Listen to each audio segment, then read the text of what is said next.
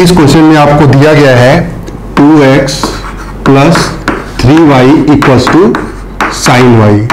ठीक है? तो ये आपका एक इम्प्लिसिट फ़ंक्शन है। इम्प्लिसिट फ़ंक्शन का मतलब ये हुआ कि कभी भी आप इसे y एज ए सब्जेक्ट या y को आप सेपरेट नहीं कर सकते हो। इसीलिए हम लोग कहते हैं कि that is a implicit function अब करें क्या? हमें डी बाई डी तो निकालना है। तो सिंपली डिफ्रेंशिएट कर देंगे। विथ रिस्पेक्ट टू एक्स तो differentiating with respect to x वैसे नाम ना भी जानो तो कोई फ़र्क नहीं पड़ता है कि वेदर ये इम्प्लिसिट फ़ंक्शन है या फिर एक्सप्लिसिट फ़ंक्शन है। नाम का कोई फ़र्क नहीं पड़ेगा आपके प्रोसेस में। ठीक है? आप सिंपली आप करते जाइए। अब यहाँ पे क्या होगा? डिस्ट्रीब्यूट हो जाएगा। तो d by d x of two x plus d by d x of three y and that is equal to अब देखिए साइन वाई जो है, ये d बाई डी एक्स लिखा हुआ है। और d बाई डी एक्स का मतलब क्या हुआ है? Differentiation with respect to x इसका मतलब साइन x का फ़ंक्शन तो है नहीं, ये y का फ़ंक्शन है तो कभी भी ये एक्स के रिस्पेक्ट में डिफ्रेंशिएट नहीं होगा। तो इस प्रॉब्लम से कैसे हम लोग निजात पाए? हमें इसे डेरिवेटिव चेंज करना पड़ेगा। विथ रिस्पेक्ट टू वाई करना पड़ेगा। लेकिन अगर यहाँ पे एडजस्ट कर रहे हो तो यहाँ एडजस्ट करना पड़ेगा, आपको d y by d s करना पड़ेगा।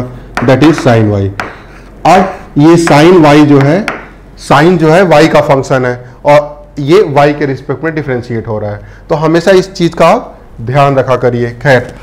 तो दैट इज़ ये टू कांस्टेंट बाहर आ जाएगा और d x by d x one हो जाएगा। तो फाइनली आपका क्या हो गया यहाँ पे? टू इंटू वन टू हो गया। फिर यहाँ पे थ्री कांस्टेंट बाहर आएगा, ये d y by d x हो जाएगा।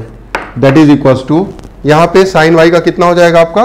Cos y that is d y by d x अब partially d by d x आपका एलएचएस में पड़ा हुआ है और कुछ आरएचएस में पड़ा हुआ है। ठीक है? तो दोनों एक तरफ़ ले आइए। D y by d x निकालना है तो हमें सब्जेक्ट बना, बनाना पड़ेगा d y by d x को।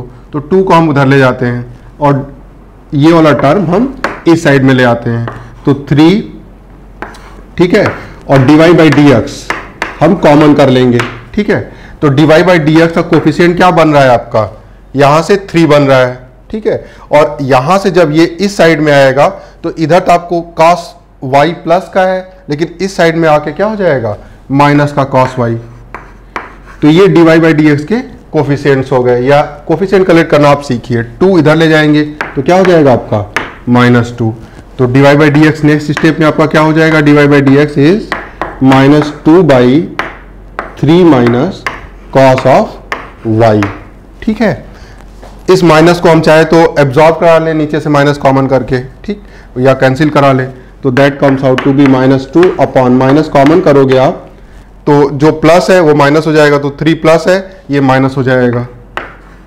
और जो माइनस है, वो प्लस हो जाएगा कॉस वाई ये माइनस माइनस कैंसिल आउट हो जाएगा। तो आपका आंसर सिंपली क्या आ गया? that is 2 upon cos y minus 3 that is your final answer.